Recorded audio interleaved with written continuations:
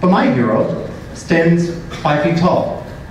Will be 10 this October and is finally learning that not all boys have cooties. My hero, as a father of four, is my oldest daughter, Veronica. Why? She stood up to bullies, tired of being teased about her gay dad. She addressed the class one day.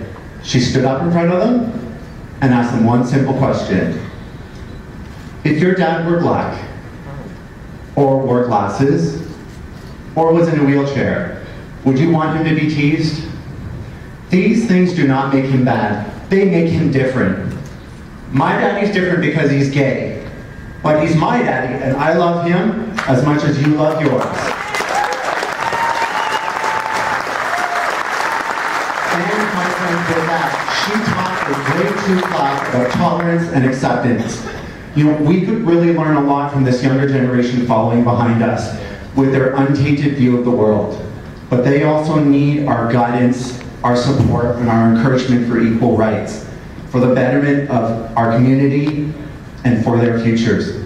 Thank you.